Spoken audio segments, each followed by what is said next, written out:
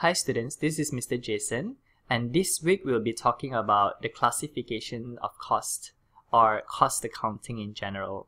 So this is probably the start of us covering through the entire Unit 3 materials. So please turn to page 21 of your Unit 3 textbook, the green one, before we start. Now, this chapter or this topic has two parts. So if you can look at the top of page 21, it's stated as classification of cost 1. That means there is a part 2 to this topic, which we'll talk about later in another class. So in this topic, we will examine a common method of classifying the cost of a business. So I will go through the lesson outline for today. So basically what I will do is I'll define cost and then I'll talk about cost behavior in terms of fixed, variable, and mixed. And then I'll also try and differentiate for you what is the difference between cost and expense. Now, what is a cost? A cost is the economic sacrifice of resources for a particular purpose. So when a business sacrifices something for a certain use, then it is called a cost. It has monetary value. So let's say if the business manufactures a product like chairs, timber that are used need to be purchased or manufactured and therefore that is a cost. Other ways a cost can be incurred is that let's say when businesses need to use electricity in the office so to pay for the electricity bill that will also incur cost. And cost behaves in different ways. So this is one of the ways we can classify cost according to its behavior how it varies with different levels of activity or production volume. So most of the time, activity or volume can be measured in terms of unit of production, how many hours the workers have worked, how many students have been enrolled, or any other measure that can measure a certain level of activity or volume. So there are three behaviors based on this. Fixed, variable, and mixed. So let's talk about fixed costs first. Basically, how fixed costs behave is that it is constant in total. So within a relevant range of activity, which is basically where the same cost structure applies, a factory rent would be the same. No matter how many units of products the business produce, the business would still have to pay rent. So imagine this, if I produce zero units of a certain product, I would still need to pay rent for the factory. If I produce 100 units of a product, then the rent would still be unchanged, and therefore rent is a fixed cost. So other examples would be things like depreciation of machinery, uh, supervisor's salary, rent of shop, insurance for delivery vehicle. So if you look at the two graphs shown in the slide, the first graph talks about the total fixed cost graph.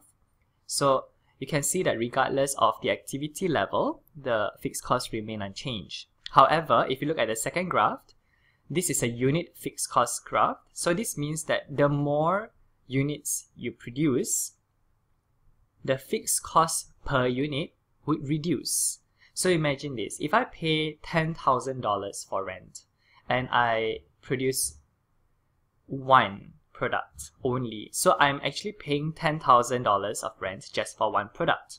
But if I produce 10,000 products for a $10,000 rent, then it would be $1 of rent for each product. Does that make sense? So in this case, you can see that fixed cost per unit would reduce the more you produce.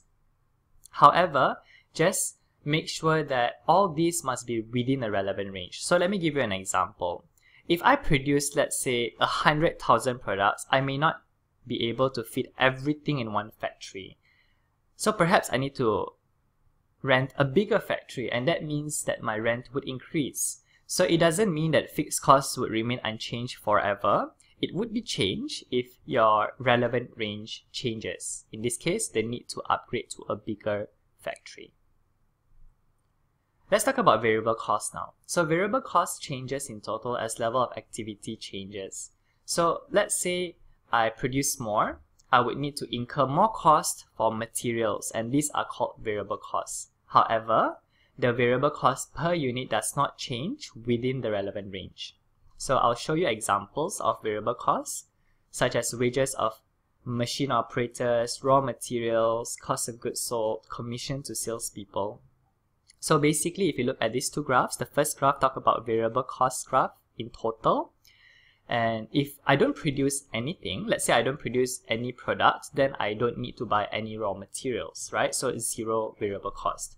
But the more products I produce, the more raw materials I need, and therefore my total variable cost would increase.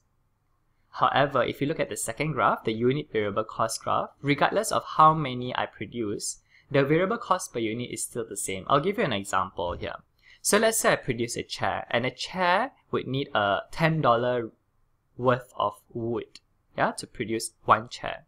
So if I produce one chair, it's going to be $10 per wood, right, for one chair. If I produce 100 chairs, it's still going to be $10 per chair because I need a $10 worth of wood for one chair still. So that means the unit variable cost does not change. But again, this is within a relevant range. So imagine this, talk about the chair example.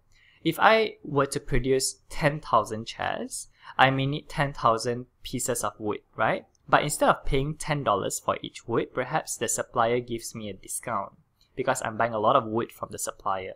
And that's when relevant range would change. And therefore, the behavior of that graph or that cost would also change. But again, in that new relevant range, it would be the same behavior. So if you are to compare fixed and variable costs, there are two ways to compare it in total or per unit. So in total, fixed costs would remain unchanged or constant.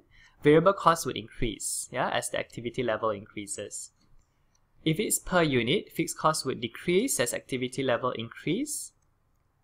However, variable costs will remain the same per unit as activity level increases. All these must be within a relevant range.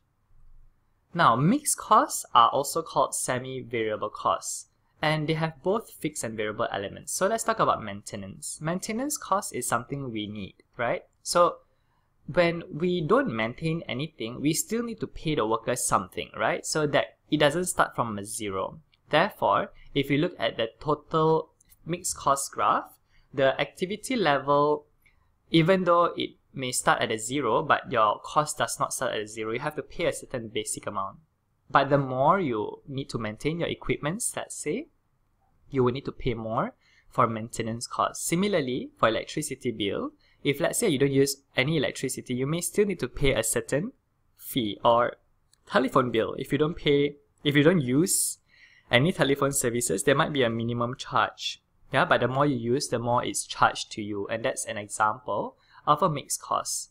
Now, the thing about mixed cost is that we only need to know it in theory, but in calculations, we would focus more on fixed and variable. Now let's move on to the last part of this lesson. So how do I differentiate costs and expenses? Now, if you think about costs and expenses, they sound the same. Yeah, they are very similar in nature. It's just that costs may not be expenses but all expenses are cost. Okay, let me explain why. Now, when your cost is unexpired, which means that you pay for something, but perhaps you prepay it. Let's say rent, I paid in advance, so I'm prepaying my rent. Now, we know that prepaid rent is not an expense, right? It is an asset in the balance sheet. It becomes an expense later when it is expired or when it is used or incurred. So then only will it be recorded as an expense. So really the difference between cost and expense is a matter of timing. Costs may not be expenses because it is not time yet or it is not incurred yet, but all expenses are definitely cost. Alright, just to summarize, so I've defined cost for you, namely the business having to sacrifice something of a monetary value for a certain use. And I've also showed for you the graphs for fixed, variable, and mixed cost in total and also per unit. And I've also differentiate cost and expense for you.